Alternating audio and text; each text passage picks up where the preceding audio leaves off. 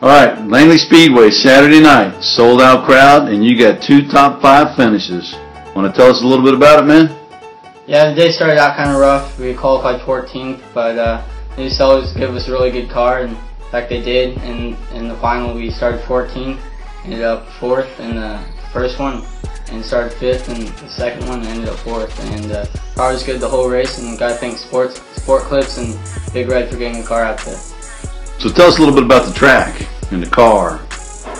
The track's really flat. There's, uh, I mean, there's no banking on the track, and uh, it's really only one groove on the whole track, and you really have to to be up on the wheel the whole the whole race just to to move up one position, and uh, there's no straightaway either. It's pretty much just a complete circle, and uh, no, uh, those guys were racing really rough, and it's really fun to be out there racing. So um, I think uh, you're doing a little three wide racing there. Probably the first three wide racing that they've seen at Langley Speedway in a, in a long time. What was going on there, man? Yeah, I was trying to get around a guy on the inside and going on the back straightaway.